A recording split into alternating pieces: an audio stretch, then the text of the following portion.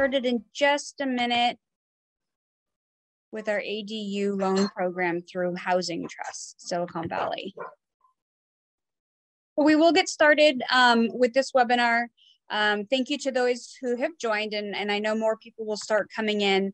Um, but welcome Bonnie and Sonya. Both of them are with the Housing Trust Silicon Valley. Uh, my name is Jody Souza, and I'm your Education and Events Manager here at SCORE. So we're going to get started with our ADU construction loan program uh, with the Housing Trust Silicon Valley. They're going to tell you about this new program that's kind of come out. If you have any questions, please put them into the Q&A box um, and we'll be able to answer any questions that you have at the end. We are recording this, so we'll send out a recording um, and get it posted to the SCORE uh, website. And we will also get a copy of these slides sent out um, early next week. So Bonnie and Sonya, welcome. Thank you so much for being here. Thank you, Jody. Uh, welcome, everyone. And thanks again, Jody, for giving us an opportunity to present information about our ADU construction loan program to your organization. So I'd like to start off uh, talking a little bit about um, Housing Trust and who we are.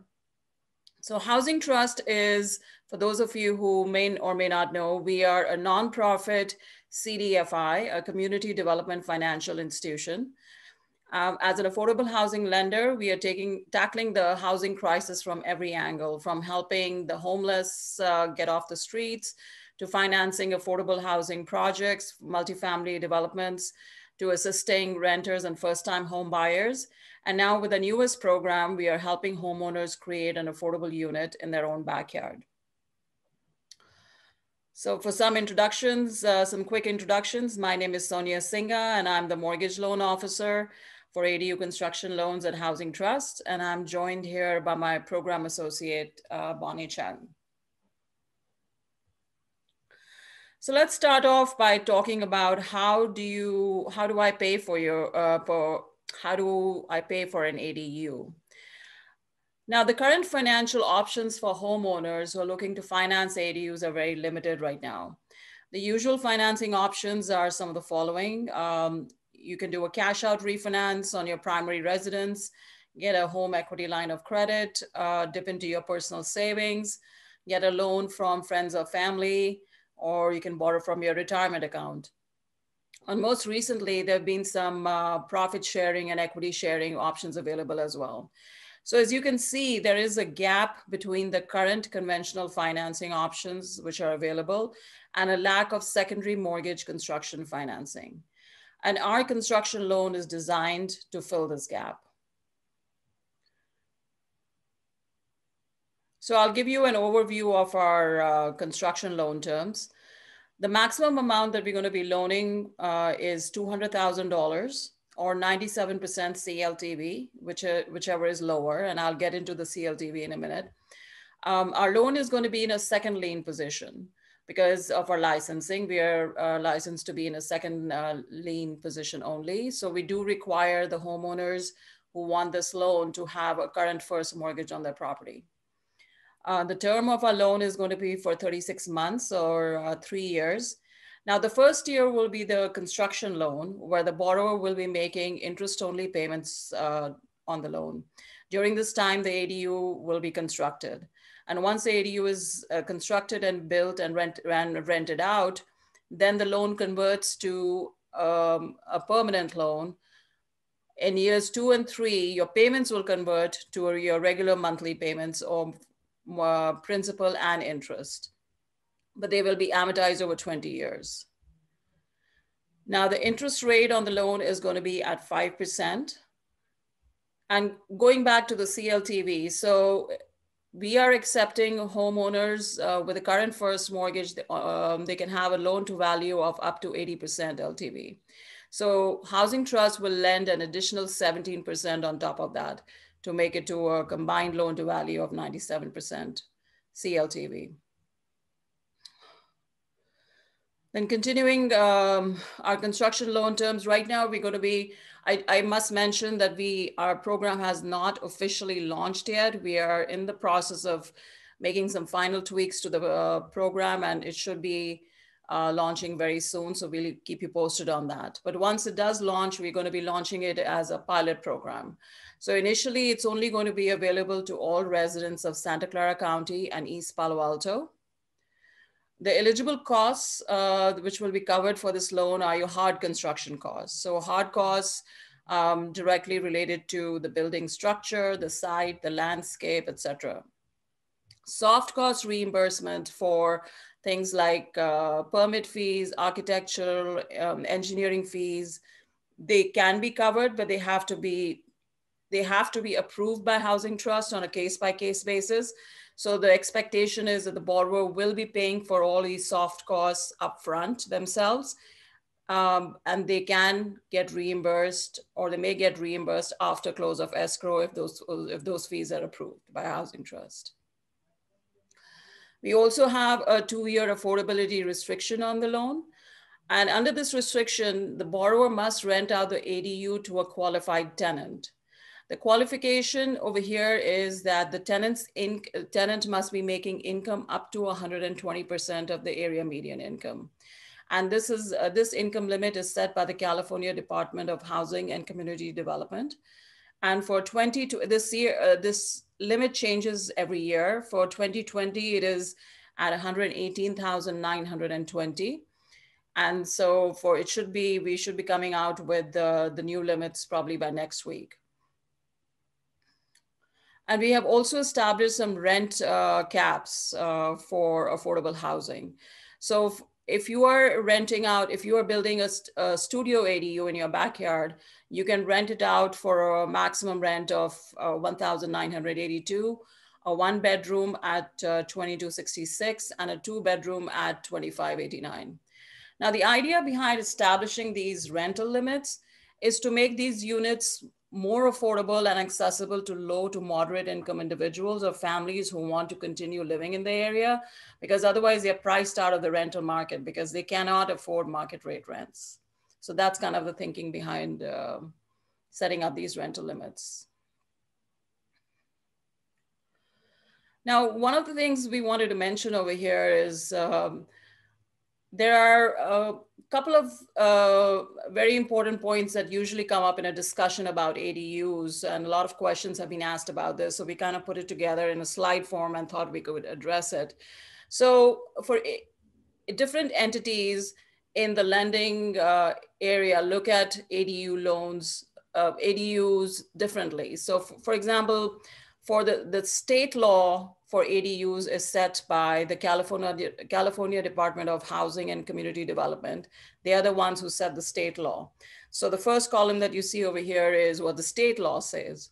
Fannie Mae, of course, as uh, most of you know, is a government sponsored entity and uh, all the conventional lenders sell their loans to Fannie Mae. And the third entity is Housing Trust. So just wanted to mention some points where some there are notable differences between the way these three entities are looking at some particular situations regarding ADUs. Now, the first, uh, the first point is what kind of ADU is allowed on the property? Now, as far as state law is concerned, state law allows you to have one ADU plus a JADU or a junior ADU on the same lot. However, Fannie Mae does not allow you to do that, and neither does our loan. Uh, if you want to apply for our construction loan, we both only allow one ADU on a single family lot.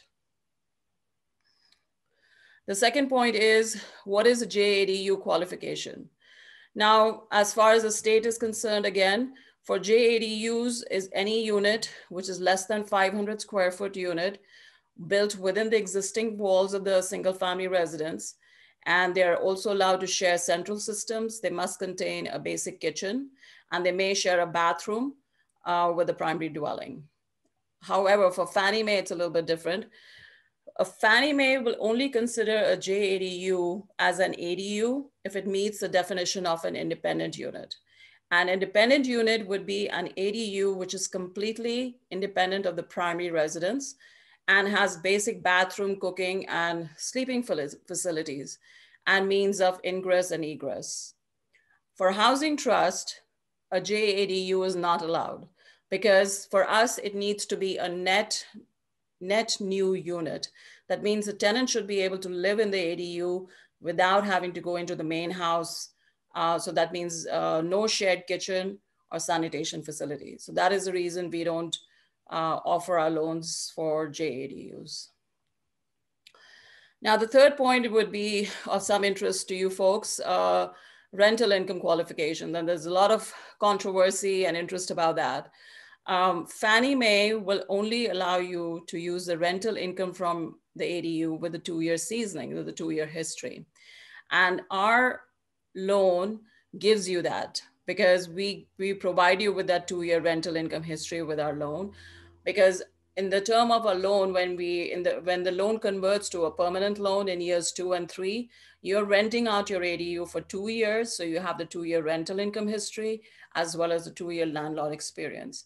And that is the reason we designed our loan in such a way for a three year term so that at the end of the three years you can go to a conventional lender and refinance it and they should be able to use that rental income so to make it easier for the borrower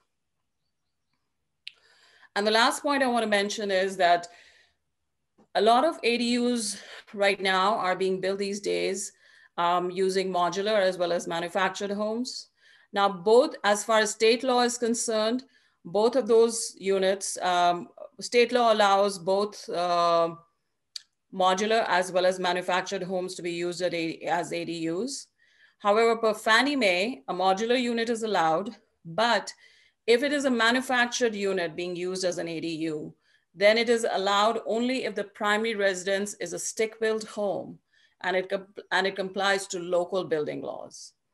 Um, for housing trust, uh, modular units are allowed and manufactured units are allowed if they are permanently fixed to the foundation and they're considered as real property. So I thought this would be of some interest to you guys because a lot of realtors have asked us these questions in the past. So just wanted to cover that with you.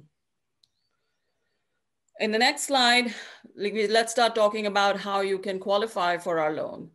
So there are two parts to the qualification. The first part is financial readiness, and the second part is project readiness. I'll go over the financial readiness terms, and then Bonnie will take over from there and go over the project readiness uh, terms. So for financial readiness, you must meet, uh, when I say you, I mean the borrower. The borrower must meet the following criteria.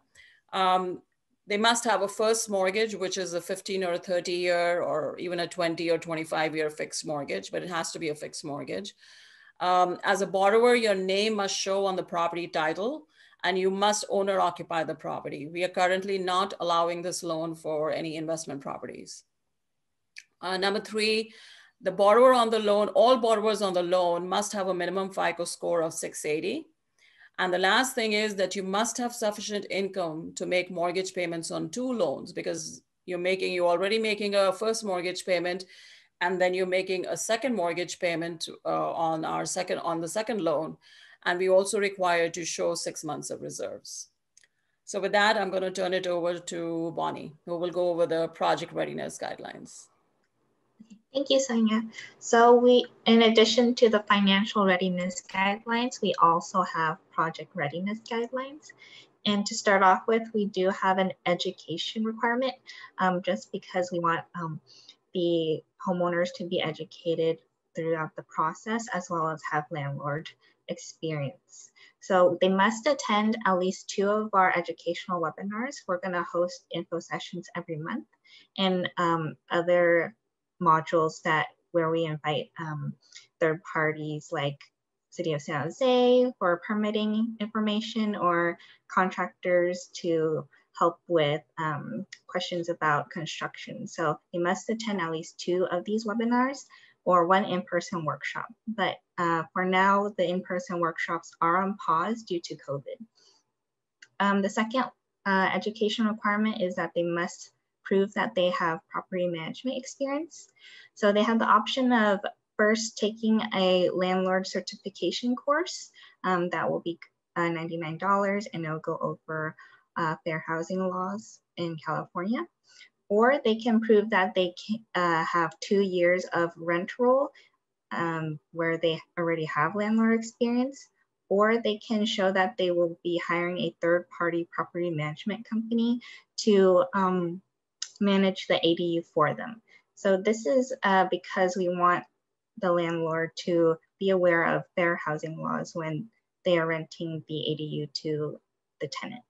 The second one, as mentioned before, is that uh, the ADU must be either a detached or garage conversion. And this program is only available in Santa Clara County or East Palo Alto. The third is that we do require that the homeowner works with a qualified builder according to our guidelines. So these guidelines include that the builder must have at least five years of residential construction experience in the state of California. They must have completed at least two ADUs in the Bay Area. They have to have provided evidence of an active ADU project pipeline and five positive client interactions. So this can be a mixture of um, online reviews like on Yelp and Google or uh, written references. And lastly, most importantly, they have to have their building permit issued by the city already. Um, we're not accepting uh, applications with people who have just applied because the permitting process could take a long time and uh, we want the after loan closing, they have to be ready to start construction within 90 days. So that's why we do have this requirement.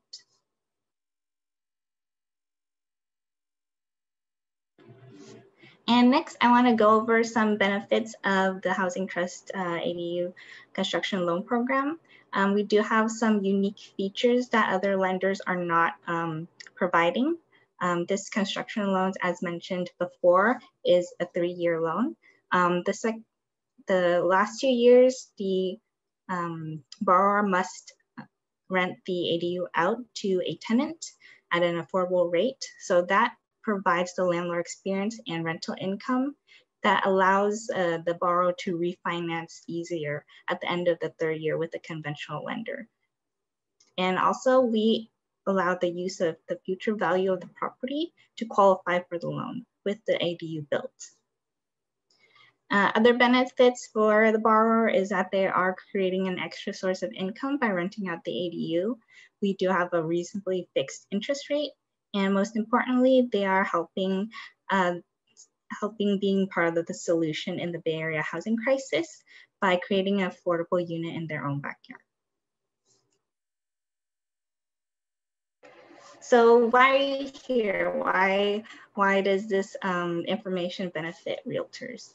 So um, after 2020, when all the new ADU laws come out, came out, it's easier than ever to build an ADU now. And with COVID and quarantine, we found that the demand for ADUs has grown because people need more space, they're staying at home more. Um, so uh, the demand for ADUs and properties with ADU potential uh, has increased. ADUs are good for small households that are just getting started. They're good for empty nesters who are downsizing and want to stay in their neighborhood and maybe rent out their uh, main home and stay in the ADU. They're also good for people who want uh, rental income to live in a pricier neighborhood. And they're also good for people who want to age in place. Um, and we're also finding that people are building ADUs for office space and multi-generational housing. So understanding all these financial, legal, and logistical issues surrounding ADUs and having an increased knowledge for your potential buyers is very beneficial. Uh, we want to um, mention that we are going to have more um, webinars and events in the future. So on our website, we have a contact list and you can sign up as an industry professional to get announcements from us. On the bottom of our website, we do have program guidelines, FAQs, and term sheets in case you want to print them out and provide them to your clients. And um, there are ADU resources and materials on the uh, California Association of Realtor website, and I can uh, put this link in the chat in a few minutes.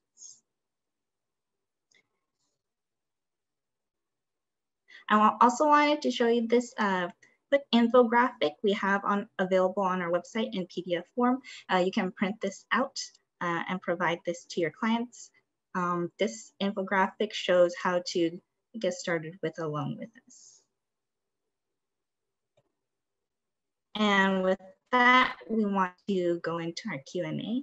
Um, if you have any other questions that you don't want to ask here, uh, you can always email us at um, adu at housingtrustsv.org or you can email us individually. Um, Sonya and I's uh, information is right here. And uh, any of these emails work. So with that, we'll get started.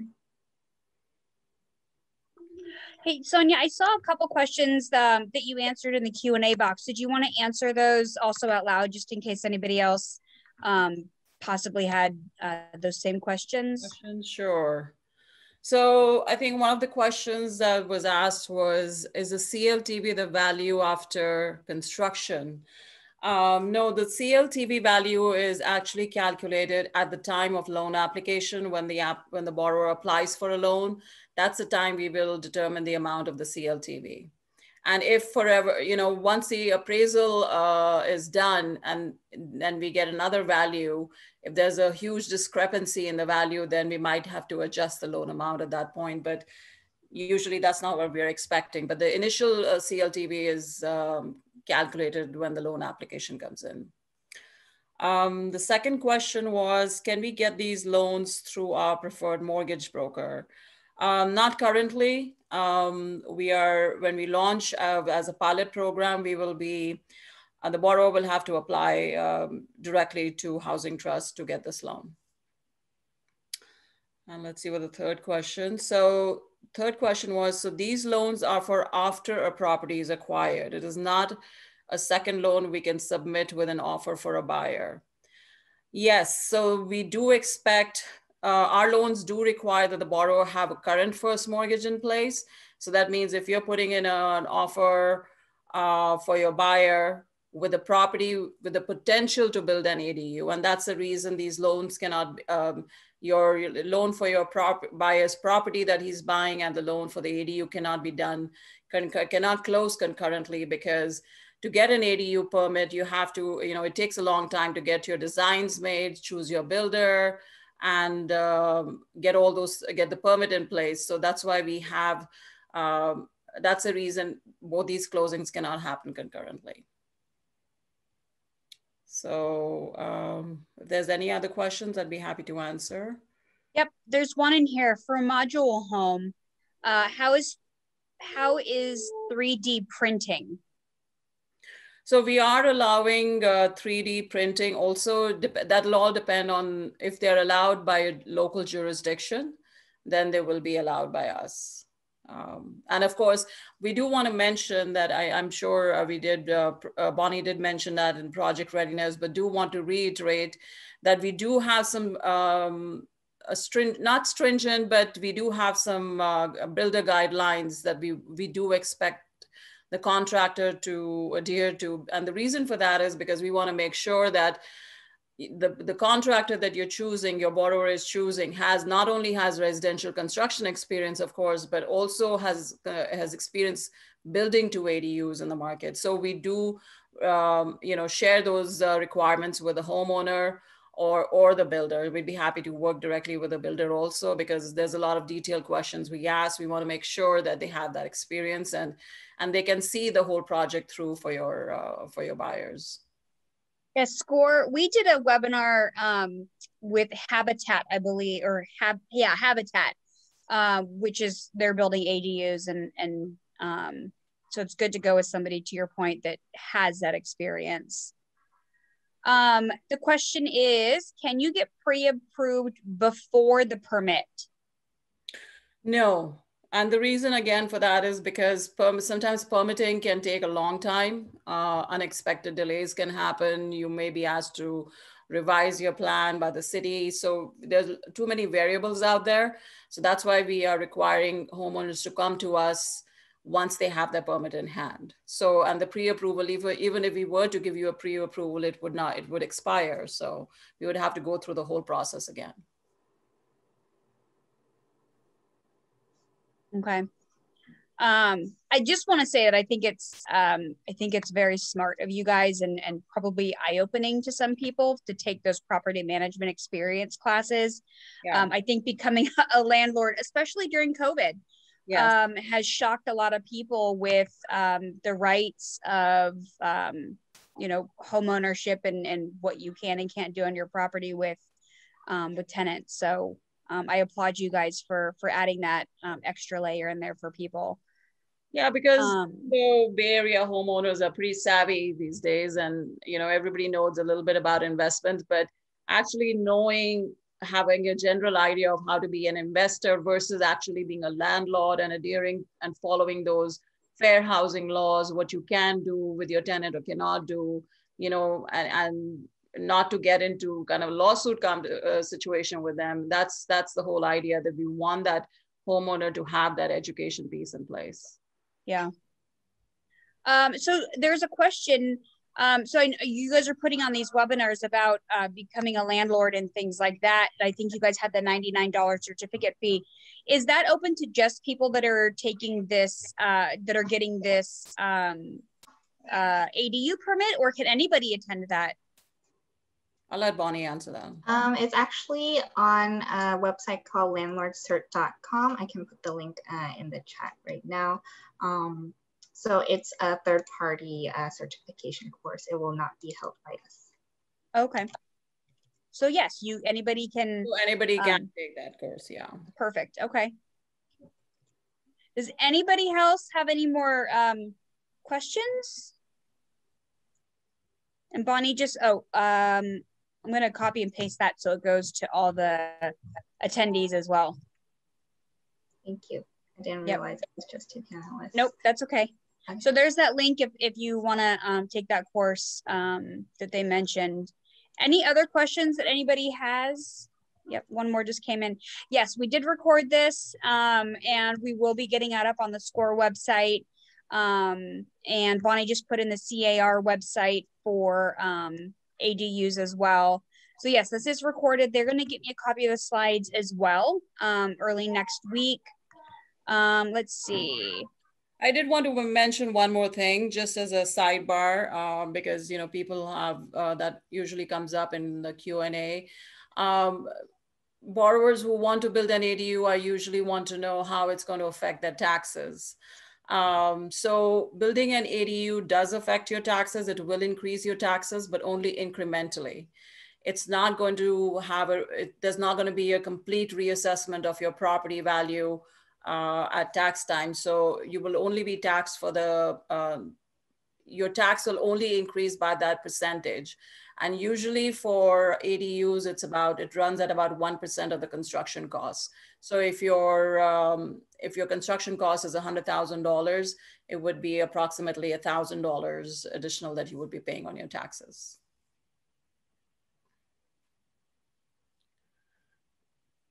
Sorry, a couple more questions are coming in. Um, I'm going to ask the ADU one, and then Sheila, I'll ask yours in a second.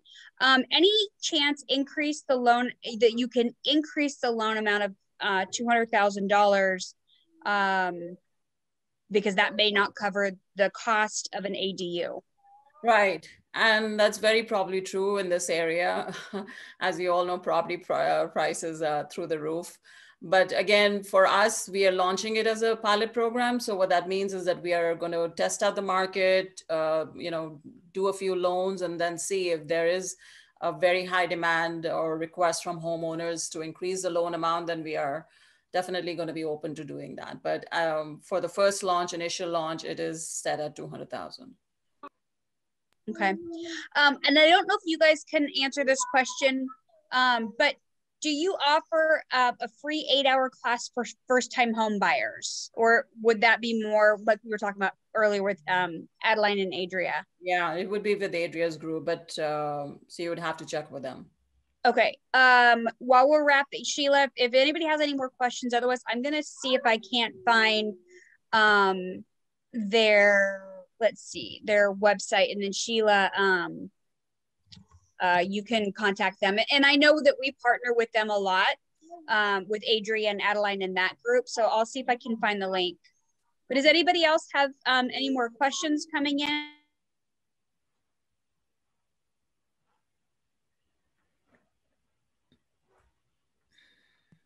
Um is there is there no, is there any loan programs on the property if the if the property's paid off?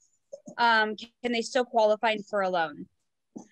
Um, no, unfortunately not, because we are licensed to be in a second lien position. So we do require the homeowner to have a first mortgage on the property. Okay. Um, and I'm putting the link to your um, event calendar in the link right now. Um, so this is for the Housing Trust event links. Um, and this this talks about all of the different um, events that you guys do. Um, I'm trying to see how I can get to June. So I don't see any on here. Um, but I suggest that you do look um, look for uh, check out their website in general, um, and you may be able to find an upcoming class. And then check, you know, keep watching the score emails. We do a lot of um, first time homebuyer class sometimes as well with Adria through Housing Trust. And so, um, affordable um, May is Affordable Housing Month, and mm-hmm. uh, we are partnered with um, SV at Home to host quite a few of affordable housing events. And if any of you are interested, we are going to be uh, doing a similar um, a webinar on May 26th is our webinar. And um, Bonnie can share that calendar link with you also as well. Yep, I see that one. Um, and then May 27th, that's in, I'm just looking at your event calendar to see if, if there's anything else coming up. Um, so I'm also going to just put the link to Housing Trust in general in the chat box, and you guys can check that out as well. Um, so does anybody have any more questions? Otherwise, um, that was a lot of really great information this afternoon. No, it doesn't. Great. Thank awesome. You. Well, Thank you so much, Jody. I, we really appreciate the opportunity again. And again, to all the attendees, thank you for attending. And please feel free to reach out.